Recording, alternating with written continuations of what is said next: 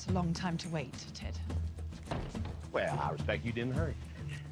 So, how was your first official day? I'm not entirely sure what y'all's smallest unit of measurement is over here, but that's about how much headway I made.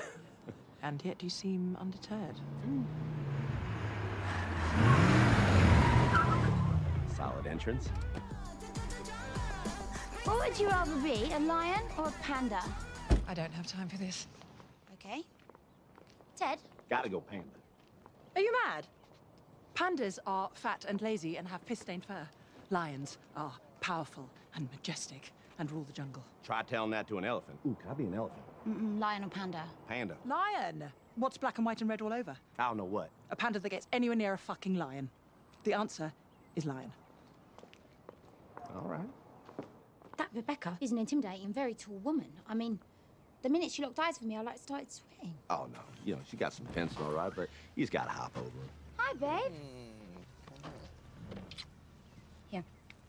Keys. Hey, Jamie, what would you rather be? A lion or a panda? Coach, I'm me. Mm-hmm.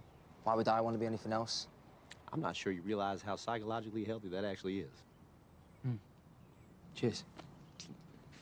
Night court. Wow. Mm-hmm. He's a lion. Definitely lion. Yo, pandas eat their weight in bamboo. My little boy told me that. No. What are you talking about? Yeah, these arcade boards.